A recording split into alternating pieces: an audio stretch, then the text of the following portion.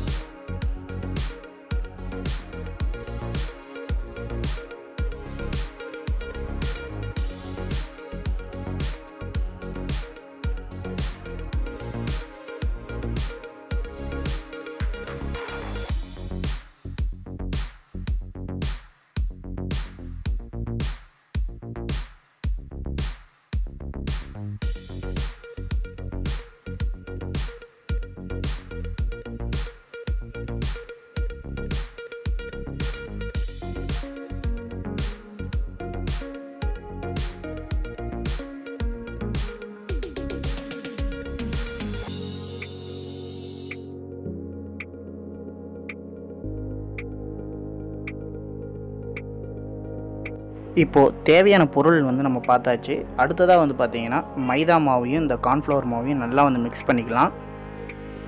நல்லா மிக்ஸ் பண்ணிட்ட பிறகு கழுவி வச்சுருக்கிற இந்த சிக்கனை வந்து அதில் நம்ம ஆட் பண்ணி லைட்டாக வந்து ஒரு லேயருக்கு வந்து நம்ம இதில் மாவு ஒட்டுற அளவுக்கு வந்து மிக்ஸ் பண்ணி ஒரு ஓரமாக வச்சுருங்க.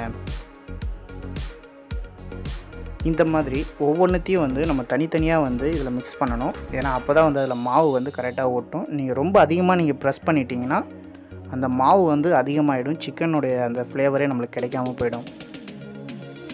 இந்த மாதிரி லைட்டாக வந்து மிக்ஸ் பண்ணிக்கோங்க.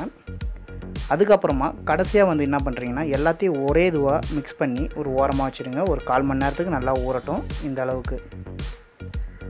இப்போ அதுக்குள்ளே நம்ம வெங்காயம் தக்காளி எல்லாமே அரிஞ்சு வச்சாச்சு. நல்லா பொடிசாக வந்து நறுக்கி வைக்கணும். ஏன்னா இந்த அளவுக்கு இருக்கணும். பாருங்கள் இந்த மாதிரி நல்லா சின்ன சின்னதாக வந்து நறுக்கி வச்சுக்கோங்க. இந்த மாதிரி நல்லா சின்ன சின்னதாக வந்து தக்காளியை வந்து அரிஞ்சு வச்சுக்கோங்க.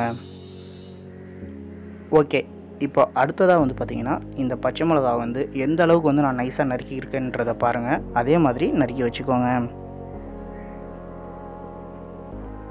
இந்த மாதிரி இருக்கணும். ஏன்னா அது வதங்குறப்போ வந்து நம்மளுக்கு அதில் வந்து அந்த வெங்காயம் தக்காளி இருக்காத மாதிரியே நம்மளுக்கு ஃபீல் இருக்கணும். அந்த மாதிரி. ஓகேங்களா? இந்த மாதிரி நான் சின்ன வெங்காயத்தை வந்து நல்லா சின்ன சின்னதாக நறுக்கி வச்சுருக்கேன். அடுத்ததாக வந்து லாஸ்ட்டு வந்து கொத்தமல்லி. இது வந்து நம்ம வந்து கடைசியாக தான் வந்து நம்ம இதை ஆட் பண்ண போகிறோம் அதனால் இது ஒரு ஓரமாக வச்சுக்கலாம். இப்போ வந்து நம்ம மேடினேட் பண்ணி வச்சுருந்த இந்த சிக்கனை வந்து பொறிச்சி எடுத்துக்கலாம். அதாவது எந்த அளவுக்கு வந்து இது கலர் வந்து மாறின பிறகு நம்ம எடுக்கணும் அப்படின்றத நான் இதில் காட்டியிருக்கேன். பாருங்கள் இப்போ நீங்கள் பார்த்தீங்கன்னா உங்களுக்கு தெரியும். ஓரளவுக்கு நம்ம கோல்டன் கலரில் வந்துடுச்சு. இந்த அளவுக்கு வந்துட்ட உடனே நம்ம இந்த சிக்கனை வந்து எடுத்து ஒரு ஓரமாக வச்சுக்கலாம். இந்த மாதிரி எல்லா சிக்கனையும் வந்து நம்ம பொரிச்சு எடுத்துக்கலாம். அடுத்ததாக வந்து பார்த்திங்கன்னா வெங்காயத்தை நல்லா பொன்னிறமாக வர அளவுக்கு நல்லா வதக்கி எடுத்துருங்க.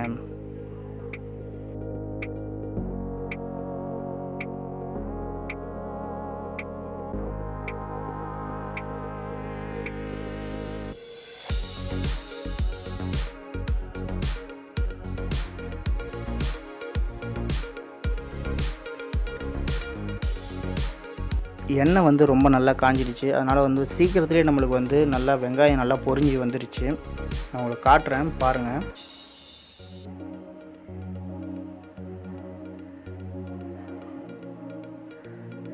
பார்த்தீங்கன்னா உங்களுக்கு தெரியும் எந்த அளவுக்கு வந்து பொரிஞ்சு வந்துக்கிட்டு இருக்குன்றது.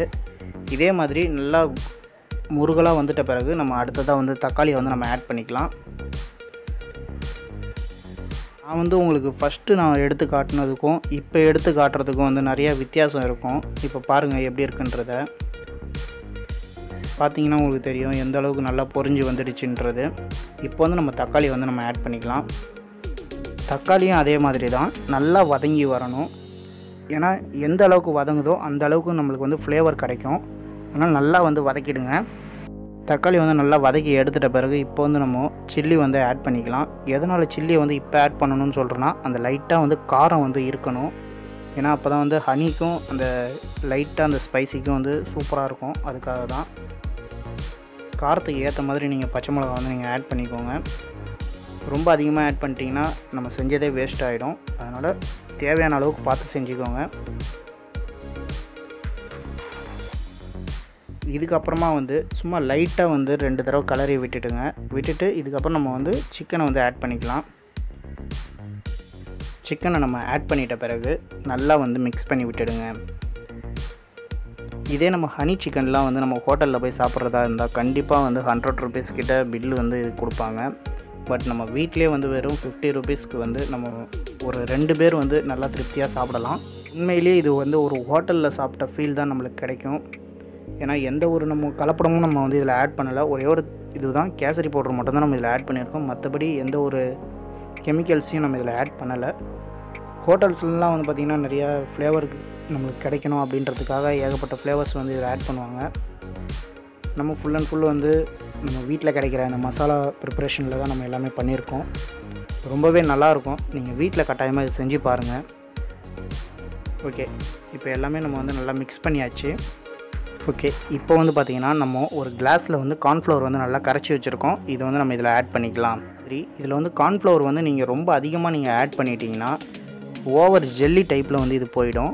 அதனால் வந்து நீங்கள் கார்ன்ஃப்ளவர் வந்து ஆட் பண்ணும்போது கொஞ்சம் கொஞ்சமாக ஆட் பண்ணுங்கள் ஏன்னா அந்த கண்டென்ட்ஸ்ட் வந்து நம்மளுக்கு தெரியணும். அதுக்காக தான். இது வந்து பார்த்திங்கன்னா நீங்கள் மிக்ஸ் பண்ணிக்கிட்டே அந்த கார்ன்ஃப்ளவர் வந்து ஆட் பண்ணுங்கள் ஏன்னா அப்போ தான் வந்து அதனுடைய கண்டென்ட்ஸ் வந்து உங்களுக்கு தெரியும். நம்ம முன்னாடியே வந்து அதிகமாக ஆட் பண்ணிட்டோன்னா ஓவர் வந்து திக்காகிடும் அதனால் நம்மளால் எதுவுமே பண்ண முடியாது. இப்போ நான் வந்து கரெக்டான லெவலுக்கு வந்து ஊற்றியிருக்கேன் அதுவும் இல்லாமல் எக்ஸ்ட்ரா வந்து இதில் வந்து வாட்டரும் நான் ஆட் பண்ணுவேன். ஏன்னா கொஞ்சமாவது நம்மளுக்கு வந்து அந்த லைட் திக்னஸ் இருக்கணும். ரொம்ப திக்னஸ் வேணால் லைட் திக்னஸ் இருக்கணும். அதுக்காக தான். இப்போ வந்து எனக்கு ஓவராக வந்து திக்னஸ் வந்துடுச்சு. ஓகேங்களா? இதுக்காக வந்து பார்த்திங்கன்னா நான் லைட்டாக வந்து வாட்டர் வந்து நான் ஆட் பண்ணுவேன். அதை நான் காட்டுறேன் பாருங்கள் இப்போ வந்து பார்த்திங்கன்னா நம்ம வாட்டரை ஆட் பண்ணுறதுக்கு முன்னாடி நம்ம இதில் வந்து ஹனி வந்து ஆட் பண்ணிக்கலாம். ஏன்னா ஹனியோட டேஸ்ட்டு தெரிஞ்ச பிறகு தான் நம்ம வந்து வாட்டர் வந்து நம்ம ஆட் பண்ண முடியும். அதுக்காக வந்து நான் சஃபோலா ஹனி வந்து நான் எடுத்திருக்கேன். ஹனி வந்து ரொம்ப அதிகமாகவும் ஊற்றக்கூடாது ரொம்ப கம்மியாகவும் இருக்கக்கூடாது. ஒரு மீடியமான லெவலில் வந்து இருந்தால் மட்டும்தான் வந்து அந்த டேஸ்ட் வந்து நம்மளுக்கு கிடைக்கும். ஹனி ஊற்றிட்டு நல்லா வந்து மிக்ஸ் பண்ணிவிடுங்க அது எல்லா சிக்கன் சைடும் வந்து ஹனி வந்து இறங்கணும் அதுக்காக தான். ஹனி ஊற்றிட்டோன்னே உங்களுக்கு தெரியும். கொஞ்சம் லைட்டாக வந்து நம்மளுக்கு தண்ணி விட்ட மாதிரி ஆயிருக்கு. இப்போ உடனே வந்து அது கொஞ்சம் கட்டி ஆகிடும் நீங்கள் இது பண்ணும்போது வந்து பார்த்தீங்கன்னா கார்ன்ஃப்ளவர் நம்ம ஆட் பண்ணிட்ட பிறகு லோ ஃப்ளேமில் வச்சுக்கோங்க. ஃப்ளேமில் இருந்தால் மட்டும்தான் அதனுடைய திக்னஸ் வந்து எப்படி இருக்குன்றது நம்மளுக்கு தெரியும். அதுக்காக தான். இப்போ பார்த்தீங்கன்னா ஹனி ஊற்றி கொஞ்ச நேரத்தில் வந்து ரொம்பவே திக்காகிடுச்சு இந்த சமயத்தில் வந்து நம்ம வந்து வாட்டர் வந்து நம்ம ஆட் பண்ணிக்கலாம். வந்து நான் வாட்ரு வந்து ஆட் பண்ண அந்த கிளிப்ஸ் வந்து எப்படியோ மிஸ் ஆகிட்டுருக்கு பட் இதில் வந்து நான் ஒரு அஞ்சு டீஸ்பூன் வந்து நான் வாட்ரு வந்து நான் இதில் ஆட் பண்ணியிருப்பேன். நீங்கள் கார்ன்ஃப்ளவர் மட்டும் நீங்கள் கரெக்டாக நீங்கள் ஆட் பண்ணிங்கன்னா தண்ணி வந்து நம்ம ஊற்றவே இதில் தேவையில்லை. அதனால் கார்ன்ஃப்ளவர் மட்டும் நீங்கள் பார்த்து ஆட் பண்ணிக்கோங்க. அவ்வளோதான் ஃப்ரெண்ட்ஸ் இப்போ வந்து நான் கடைசியாக வந்து கொத்தமல்லி தலையை வந்து அதில் லைட்டாக ஆட் பண்ணிவிட்டு நம்ம வந்து சர்வ் பண்ண வேண்டியது தான் ரொம்பவே சூப்பரான டிஷ் வந்து இதில் வீட்லேயே நம்ம செய்யலாம். கடையில் போய்ட்டு நம்ம ரொம்ப அதிகமாக கொடுத்து வந்து நம்ம காசு கொடுத்து வாங்க தேவையில்லை. வீட்டில் ஒரு தடவை இது நீங்கள் செஞ்சு பாருங்கள் உண்மையிலே ரொம்பவே டேஸ்ட்டாக இருக்கும். ஓகே ஃப்ரெண்ட்ஸ் இன்றைக்கி இந்த வீடியோவில் அவ்வளோதான் வேறு எதனா வீடியோ வேணால் கமெண்ட்டில் கேளுங்க. கண்டிப்பாக வந்து நான் வீடியோ அப்லோட் பண்ணுறேன் சேனலில் புதுசாக பார்த்துட்டு இருந்தீங்கன்னா கீழே இருக்க ரெட் கலர் பட்டனை சப்ஸ்கிரைப் பண்ணிக்கோங்க. கூட வர பெல் ஐக்கானே கிளிக் பண்ணிக்கோங்க. அப்போ தான் நான் போடுற ஒவ்வொரு வீடியோ உங்களுக்கு ஒன்று கொண்டு நோட்டிஃபிகேஷனில் வரும். Bye friends